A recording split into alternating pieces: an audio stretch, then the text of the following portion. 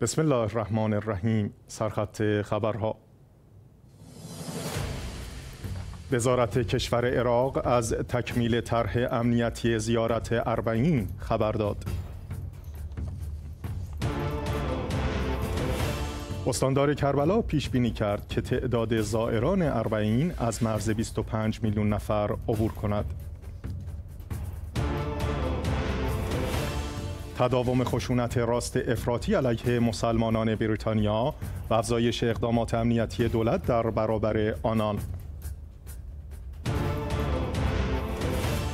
و تداوم اعتراضات خشونت آمیز در بنگلادش.